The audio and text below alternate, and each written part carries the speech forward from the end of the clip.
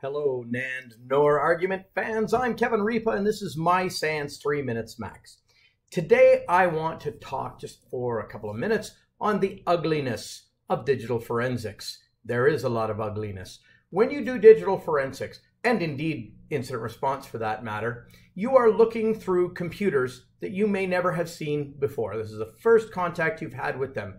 Maybe you're an analyst looking at a forensic image for the first time that's been collected by somebody else. There are things you can't control. You can't control what's on the computer. You can't control what you're going to see. Guess what? People swear on the internet, in emails, they say bad words. oh, and guess what? There's also, hmm, things you may not want to see. There is any manner of data inside hard drives and forensic images and things people have collected. You will come across pornography. Yes, naked people, people with no clothes on, doing things that we only do in the bedroom with the lights off. This could happen. You can't unsee that stuff. You can't blame somebody for coming across this. Stuff. You could be doing a financial investigation and going through a hard drive, and you'll see this stuff.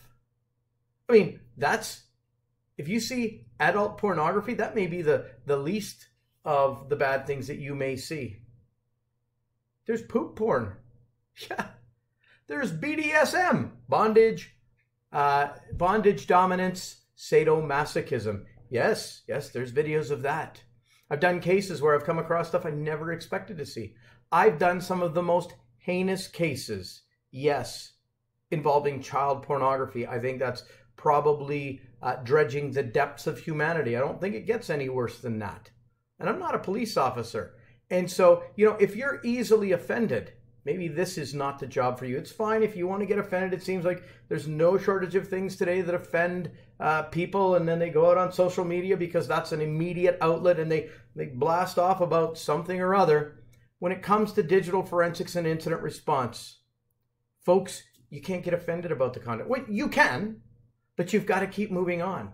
You think I don't get offended when I'm doing a case and uh, that involves child pornography and I actually see the child pornography? That's heinous. I don't care what side you work on. Believe me, whoever did that, I want to find them.